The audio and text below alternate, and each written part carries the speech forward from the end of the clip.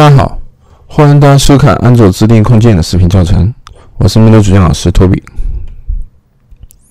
我们上节课做了一个案例，安卓的一个折线图。我们使用的是第三种继承根 view 的方式。我们继承根 view 实现它的安卓函数，然后用安卓函数提供给我们的 canvas 这样一个东西，用它的一个 canvas 的 draw line 的方法来画我们这样一个折线图。这节课我们继续学习一个案例：滚动界面顶部条。我们先来看一下效果。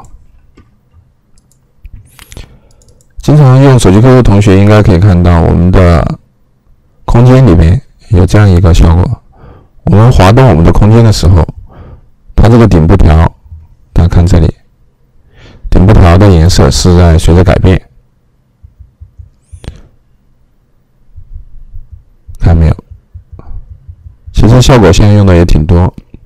我们今天就来做这样一个效果。我们先来分析一下这个效果是怎么做的。其实说白了，两两个步骤。你首先拿到这个滚动的事件，对吧？知道它的滚动。其次，设置背景，设置这个顶部条的背景颜色。但是滚动多少，设置多少。这个就要根据这个高度的变化来设置，所以说中间差了一步，就是你要知道这个高度的变化。总结起来就是三步：你要拿到滚动事件，知道高度的变化，然后根据高度的变化来设置背景，这三步。我们来分析一下，其实通常来说，我们这一个顶部条，我们整个项目里边都会制定一个这样一个顶部条的这样一个控件，这个应该是非常常见。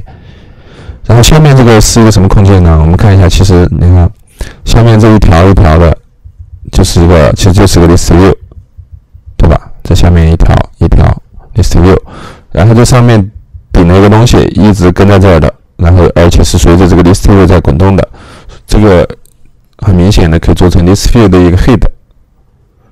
所以说这下面其实就是一个 list view，我们简单来看，它就是一个 list view。我们今天那就使用。第呢几种方式来实现呢？第一种，继承已有控件，和已有控件很相似，多出部分功能直接继承已有控件，然后改变它的一些属性啊，然后实现它一些方法。这个就是一个 list view。我们首先去拿到它的滚动事件，然后拿到高度的变化，然后再把我们的这个顶部条传进来。设置它的背景颜色，基本上就三步，不知道大家清楚没有？现在我们，我每次在写东西之前都会，都会先分析一下这个东西到底是该怎么做，流程是怎么样，然后分析清楚了之后，你心里有一个大致的流程之后，后面做就非常简单了。就跟着你的思维来，后面只是把它实现而已。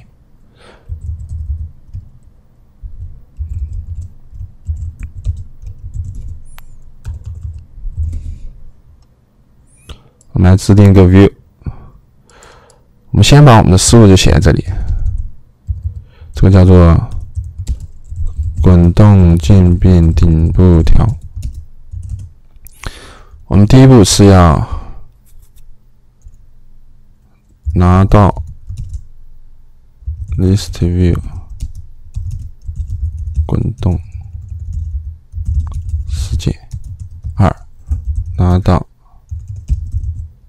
高度变化三步，根据高度变化设置顶部条背景，其实就是三步，非常简单。我们把这个东西拆开了之后，它就很容易理解了。好，现在我们一起来实现这个东西。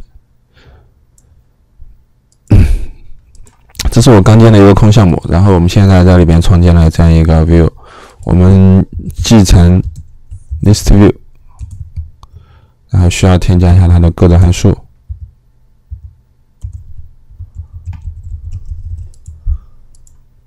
然后我们现在去写它的这样一个滚动世界，sit on scroll listener，这里我们就能拿到滚动，一旦滚动，这里就会被调用。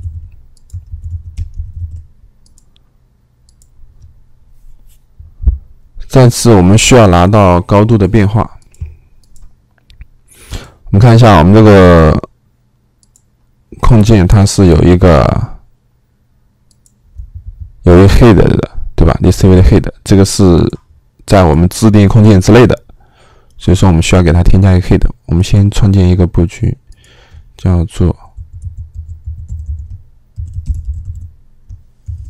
head。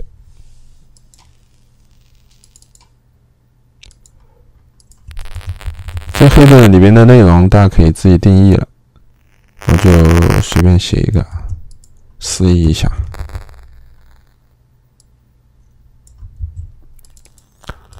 高度，比如说我们设个一百的高度，添加个 text view。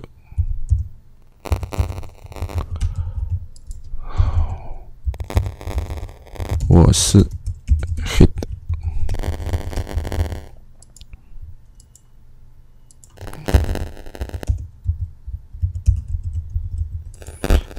设置一个背景色，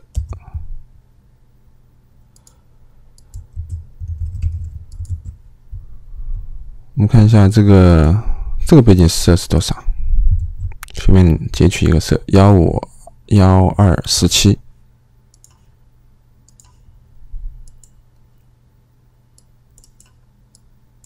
幺五幺二四七。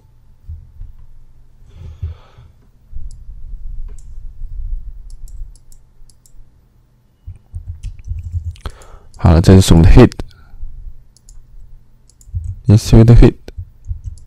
这个东西到时候我们也可以提供一个函数出来，到时候大家可以自定义，可以根据项目的内容的情况往里边加东西。我们先把这 head 找到。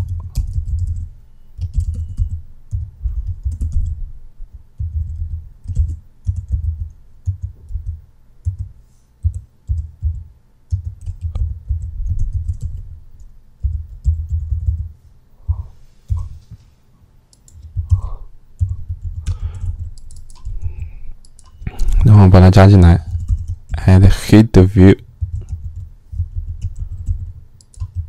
这样就加进来了。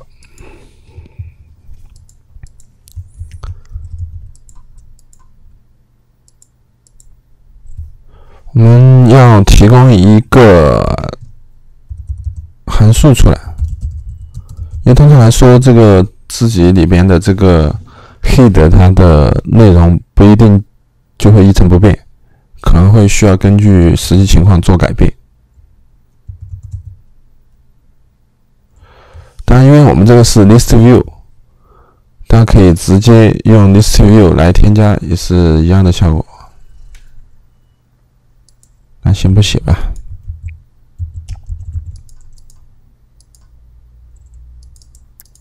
这个提出来。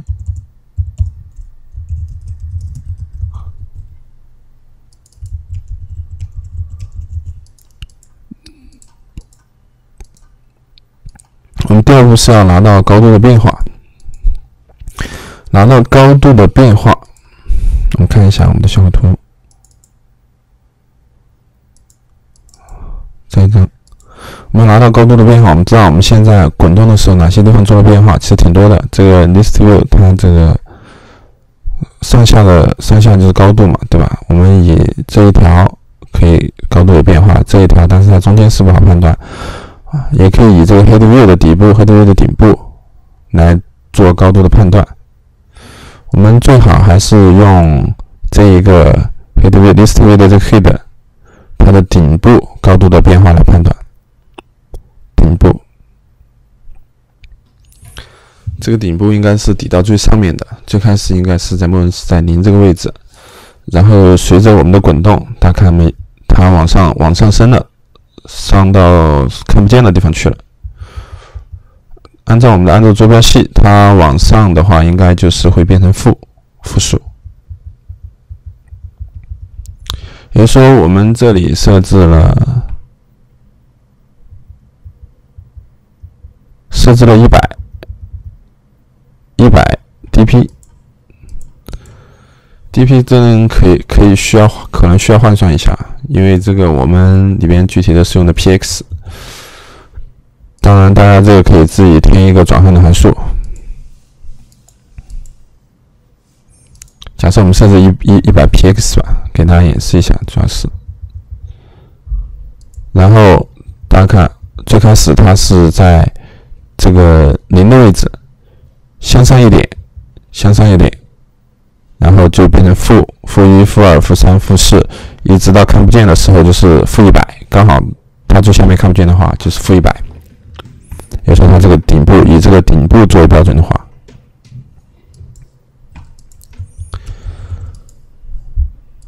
第二步是拿到高度的变化。我们拿这个 head 的高度，u head get top，因为它这个是，其实我们可以跑一下看一下，但是我这儿好像运行不起来。这就是我刚才说那个高度的变化，它是从零开始变到负一百，对吧？我们刚才看效果图，高度的变化拿到了，零到负一百。第三步，根据高度的变化设置顶部条的背景，设置顶部条的背景。现在我们就需要一个顶部条了，我们然后把顶部条传进来。我们先把函数写写进来。top 八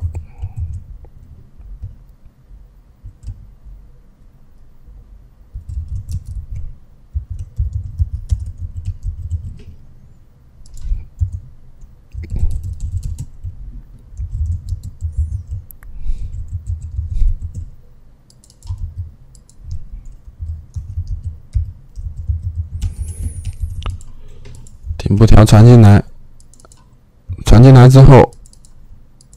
我们去设置它的背景。我们先 get background 设置它的背景的透明度的变化吧。透明度的变化，我们再看一下，它是怎么变的呢？它最开始这是全透明，全透明，然后一次一次一次一次，最后变成不透明。对吧也说是从全透明变成不透明，全透明到不透明，然后零到二五五，我们知道是零到二五，零就是全透明，二五五不透明。这里边是这样设定的啊，零是全透明，二五是不透明。然后我们要根据这个高度的变化来设置这个背景，我们要让它从全透明变成不透明，有时候从零变到二五，然后根据这个 head top 的变化，这些 top 我们先把它做成一个，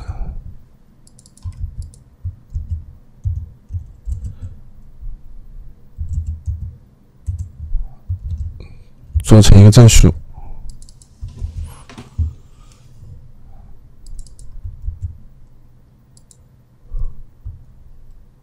嗯，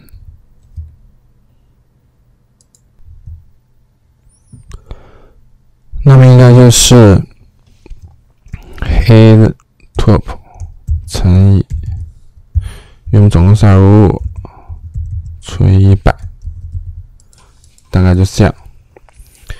为什么是这样呢？因为我们要变的是零到二五五，但是我们总共高度只有一百。所以说，我们要随着这个变化的话，我们就要给它乘以这个倍数，二五除以一百的这个倍数。它的话，你每变一下的话，其实就变了二五除以一百这么多倍。也就是说，最后你，比如说你变到二五五的时候，你就是一，就是二点五倍，二点五五倍。你你现在变到一百了，对吧？然后乘以二点五五，你就是二百五十五，你就可以到这个不透明的这个位置。现在我们来看一下效果。我们要把这个 head view 先写个 head view，我们直接写一个写一个简单的示意吧。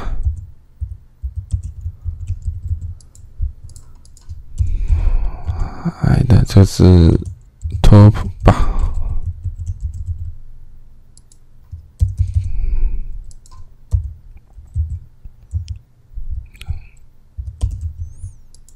给它添加一个 test view，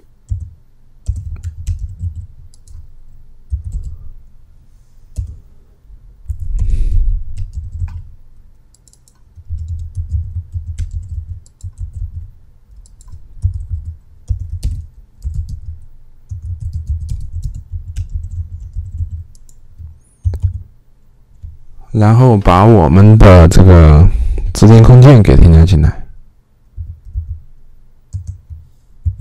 填满，填满，再加一个 ID，S C H V，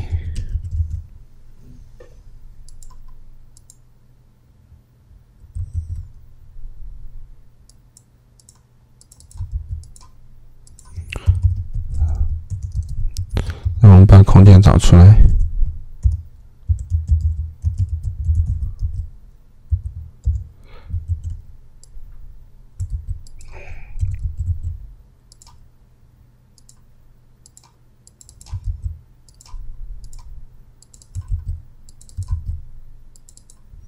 CHV。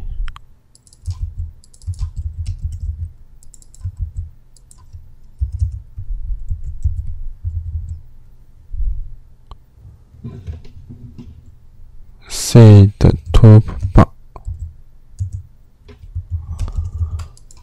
我们要给 Top Bar，我们刚才改变的只是 Top Bar 的一个透明度，Top Bar 是需要一个颜色。它最终的颜色其实就这个。幺八幺八三二十五。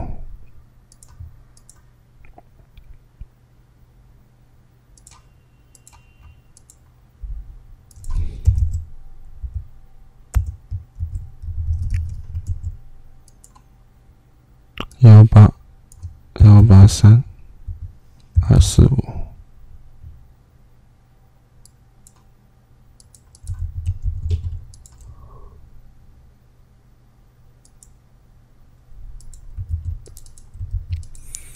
然后 list view 的话，我们还是需要给它添加一点东西，否则的话就看不出来效果。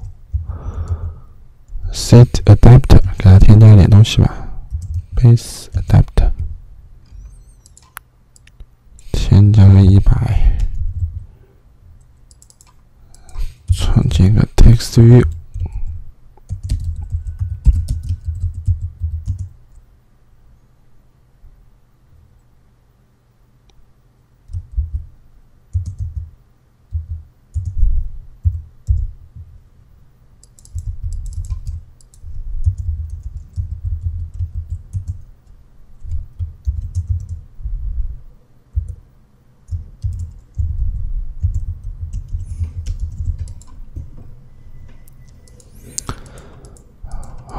这样子的话应该是 OK。我需要这里做一个判断，View Head Top Bar。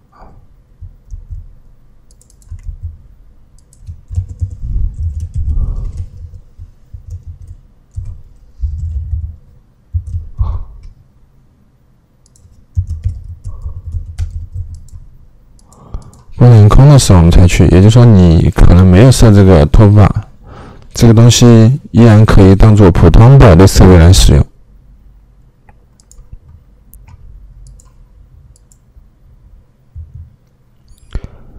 东西大概就是这样，我们。下节课来给大家演示，然后和做一些调整。嗯，谢谢大家收看，再见。